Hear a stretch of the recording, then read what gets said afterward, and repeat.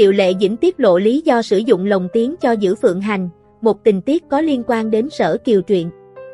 Vừa qua, trong buổi họp báo của đoàn phim Giữ Phượng Hành, Triệu Lệ Dĩnh đã nói về việc sử dụng lồng tiếng cho dự án lần này. Theo đó, cô nàng tiết lộ rằng, ban đầu, cả cô và Lâm Canh Tân đều có sẵn ý tưởng sử dụng giọng gốc trong phim, tuy nhiên đến khi bước vào giai đoạn thu âm thật sự, cả hai mới phát hiện ra chất giọng của mình chưa đủ để thể hiện khí chất của nhân vật. Triệu Lệ Dĩnh thậm chí còn thu âm cho nhân vật Thẩm Ly đến hai lần, nhưng đều cảm thấy chưa đủ tốt. Chính vì thế, đoàn phim mới quyết định sử dụng đến diễn viên lồng tiếng.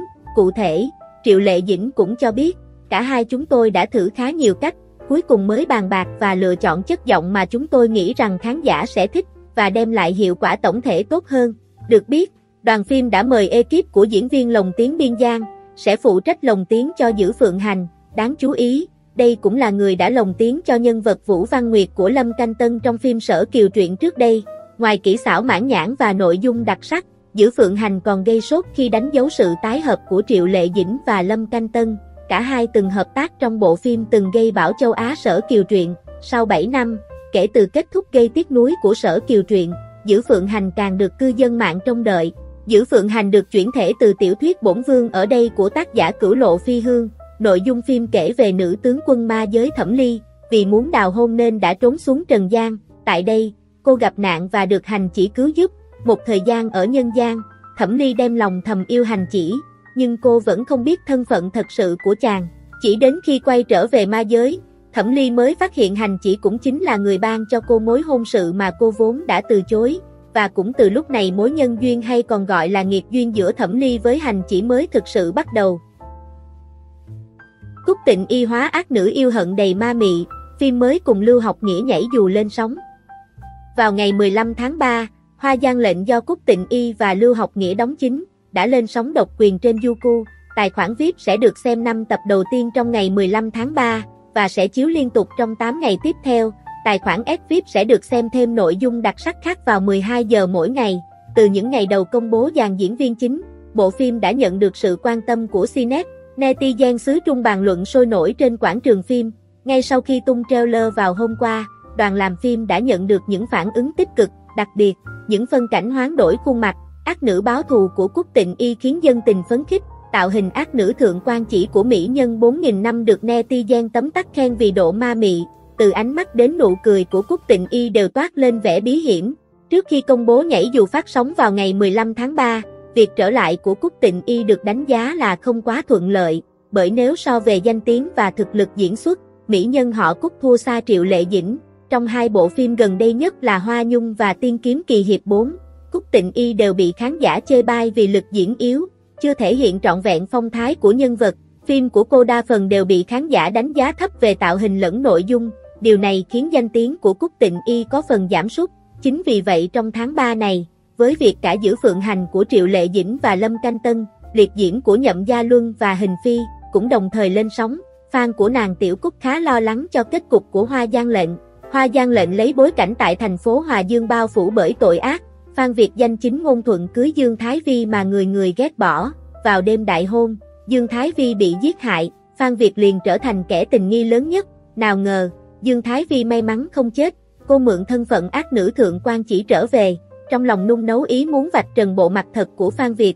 Trong quá trình đối đầu với thế lực của bốn đại gia tộc, lật lại những vụ án cũ, khoảng cách giữa hai trái tim ngày càng rút ngắn đi. Lúc này, Thái Vi cũng phát hiện hung thủ thật sự giết hại mình không phải là Phan Việt, từ đầu đến cuối hắn đều một lòng yêu cô sâu đậm, khi tất cả mọi chuyện đều đang biến chuyển tốt đẹp, tưởng chừng sắp chạm tay đến kết cục viên mãn, thì lúc này kẻ đứng trong bóng tối một lần nữa muốn dồn hai người vào cảnh vạn kiếp bất phục. Nguyên nhân Bạch Lộc và Triệu Lộ Tư thường xuyên bị chê quê mùa, không có khí chất minh tinh. Triệu Lộ Tư, Bạch Lộc và Ngu Thư Hân, là những cái tên nổi bật của lứa diễn viên sau 95, tuy nhiên, những cái tên này thường xuyên lọt vào top mặt xấu, bị nhận xét không có khí chất của minh tinh nổi tiếng. Mới đây, người hâm mộ đã chỉ ra nguyên nhân phía sau. Nguyên nhân dàn tiểu hoa sau 95 bị chê bai về khí chất. Theo đó, netizen phát hiện khí chất thời trang của Bạch Lộc, Ngu Thư Hân, Triệu Lộ Tư, có vẻ quê mùa là vì marketing trên nền tảng mạng đu dinh quá nhiều, khiến cho người xem không có cảm giác cao cấp, người chơi đu dinh ưa chuộng phong cách lòe loẹt, sặc sỡ và có phần lố lăng để thu hút sự chú ý. Người dùng muốn có lượng tương tác cao buộc phải quay nhiều video nhảy nhót hoặc làm trò. Chính điều này khiến các nữ diễn viên giống với hot girl mạng hơn là diễn viên nổi tiếng. Ý kiến này được nhiều người đồng tình vì quả thực Bạch Lộc, Ngu Thư Hân, Triệu Lộ Tư đều khá yêu thích mạng xã hội. Những tiểu hoa này thường xuyên đăng tải những video hài hước hoặc nhảy múa của bản thân và sở hữu lượng người theo dõi khủng. Do marketing hay do bản thân diễn viên có nhan sắc chìm nghiễm, khí chất bình thường. Tuy nhiên, một số cư dân mạng lại tỏ ra không đồng tình và khẳng định bản thân nhan sắc lẫn khí chất của những tiểu hoa này kém cỏi sẵn. Nếu so với Dương Mịch hay Lưu Thi Thi, ngũ quan của lớp đàn em quả thực kém xa. Nếu so với Lưu Diệt Phi, khí chất cô nàng dư sức đè bẹp Triệu Lộ Tư và Ngu Thư Hân, dù không có thân hình thon gọn, chuẩn chỉnh, để có khí chất nổi bật giữa đám đông, các ngôi sao phải học tập, rèn giũa từ dáng đứng đến cách đi lại, các chi tiết hành động dù là nhỏ nhất. Phản ứng gây tranh cãi của Tôn Di sau khi bị bạn gái của đằng quan chính tố là Tiểu Tam. Mới đây, Bái Bái đã đăng đàn tố cáo đằng quan chính bắt cá hai tay, còn nữ diễn viên Tôn Di là Tiểu Tam. Theo Bái Bái, cô và đằng quang chính bắt đầu tìm hiểu và hẹn hò từ tháng 3 năm 2023. Tuy nhiên cuối tháng 6 cùng năm, đằng quang chính lừa dối cô, và đến Hải Nam Trung Quốc xem concert cùng Tôn Di. Sau khi bị phát hiện ngoại tình, đằng quang chính đòi chia tay và đăng đàn dựng chuyện bái bái lợi dụng anh để gây chú ý. Vào ngày 14 tháng 3, blogger đăng tải video Tôn Di và đằng quang chính tình cảm trên phố. Cánh săn ảnh cho biết, nữ diễn viên nổi tiếng và chàng kỹ sư ngành công nghệ thông tin đã chung sống với nhau một thời gian. Không chỉ vậy, nữ diễn viên còn bị bắt gặp hẹn hò với đằng quan chính ở Pháp. Dù vậy, Tôn Di vẫn không thừa nhận mối quan hệ tình cảm với đằng quan chính, cho đến khi cô bị bạn gái cũ của chàng kỹ sư ngành công nghệ thông tin bóc phốt. Trước việc bị bái bái tố làm tiểu tam, Tôn Di đăng tải bài viết với giọng điệu cực ngầu, nhưng vô tình làm lộ luôn sơ hở chuyện từng qua lại, và giờ đã chia tay đằng quan chính. Cảm ơn mọi người đã quan tâm, tôi đã tiễn anh ta đi rồi, và không đưa ra bất kỳ lời giải thích nào về lùng xùm tình ái đang vướng phải. Phát ngôn này của Tôn Di được cho là đã xác nhận việc cô từng hẹn hò với đằng quan chính. Trên mạng xã hội, Tôn Di sụp đổ hình tượng cường nữ, hứng làn sóng tẩy chay diện rộng. Trước đó, khi vướng tin hẹn hò với đằng quan chính vào tháng 6 năm 2023, Tôn Di từng lên tiếng phủ nhận, giờ đây, nữ minh tinh lại lên tiếng rằng cô đã chia tay, còn dùng giọng điệu cường nữ. Điều này khiến công chúng càng thêm ngán ngẩm về hình tượng của cô, đồng thời thất vọng vì nữ diễn viên đã nói dối. Tôn Di sinh năm 1993, là một trong những tiểu hoa đáng 90 nổi bật ở showbiz Trung Quốc. Cô được yêu thích nhờ các tác phẩm nhân sinh nếu như lần đầu gặp gỡ, lương sinh liệu đôi ta có thể ngừng đau thương, bởi vì được gặp em, 15 năm chờ đợi chim di trú, Mị Nguyệt truyện, Tôn Di được xem là mỹ nhân phim bi của Trung Quốc vì luôn gây ấn tượng, khiến khán giả rơi nước mắt trong những dự án tình cảm bi thương. Năm 2022, Tôn Di thông báo ly hôn Thái tử Kinh khuyên Đổng Tử Kiện, Nguyên nhân chia tay là hai nghệ sĩ trẻ không còn tiếng nói chung trong quan điểm, lối sống dẫn đến việc cả hai phát sinh mâu thuẫn không thể cứu vãn. Tôn Di kết thúc cuộc hôn nhân với Đổng Tử Kiện vào tháng 8 năm 2022, sau đó, cô từng tuyên bố không cần đàn ông trong cuộc sống. Hoắc Kiến Hoa gây tranh cãi khi cưa sừng làm nghé đóng học sinh cấp 3 ở tuổi U50. Sau siêu phẩm đang rất được mong chờ câu chuyện Hoa Hồng đóng cùng Lưu Diệt Phi, Hoắc Kiến Hoa còn trở lại với phim mới mang tên Tuổi Trẻ, trong đó anh đóng vai trò trung tâm. Tuy nhiên, Hoắc Kiến Hoa khiến khán giả khá hoang mang khi hóa thân thành nam chính Mã Đinh, một nam sinh cấp 3 trải qua nhiều biến cố cuộc sống.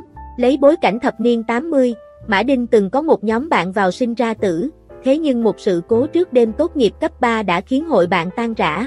Sau nhiều năm, Mã Đinh trở thành phó giám đốc nhưng không may mắc bệnh u não. Đến lúc này, anh mới bắt đầu đi tìm lại những người bạn năm xưa, mong có thể xóa bỏ hiềm khích mà làm hòa. Trên poster nhân vật chính thức, nhan sắc của Hoắc Kiến Hoa trở thành tâm điểm bàn tán, so với những bức ảnh bụng vệ trước kia trong giai đoạn tạm rời xa màn ảnh. Hoắc Kiến Hoa có thể xem là đã lột xác, trở lại với vẻ ngoài khả quan hơn. Tuy nhiên ở độ tuổi U50, việc anh cưa sừng làm nghé, hóa nam sinh cấp 3, khiến fan không khỏi nghi ngờ và thiếu thuyết phục. Mặt khác, khán giả vẫn đặt gạch tin tưởng vào mắt nhìn kịch bản của Hoắc Kiến Hoa, khi các phim có anh đóng chính hiếm khi nào chất lượng thấp. Ngoài ra, dàn diễn viên còn lại trong phim cũng khiến người xem tò mò, bao gồm Kiều Chấn Vũ, Trương Tuyết Nghênh, Điền Vũ. Đặc biệt, đây còn là lần hiếm hoi mà hai mẫu của thiên nhai tứ Mỹ là Hoắc Kiến Hoa và Kiều Chấn Vũ, có cơ hội hợp tác chung trong một phim. Sinh năm 1979, Hoắc Kiến Hoa là nam ca sĩ, diễn viên nổi tiếng người Đài Loan và cũng từng là Mỹ Nam đình đám một thời của làng phim ảnh hoa ngữ. Anh được biết đến qua các phim ăn khách như Chuyện tình biển xanh, Tiên kiếm kỳ hiệp 3, Kim Ngọc Lương Duyên, Tiếu ngạo giang hồ bản 2013, Bao giờ trăng sáng, Hoa Thiên Cốt, hãy nhắm mắt khi anh đến, như ý truyện. Video đến đây là hết, hãy cho chúng tôi biết ý kiến của bạn về vấn đề trên bên dưới phần bình luận. Cảm ơn các bạn đã theo dõi video của kênh Chuyến Tàu Bát Quái. Nếu thấy hay và hấp dẫn, các bạn hãy bấm đăng ký và chuông thông báo để nhận những video mới nhất nhé.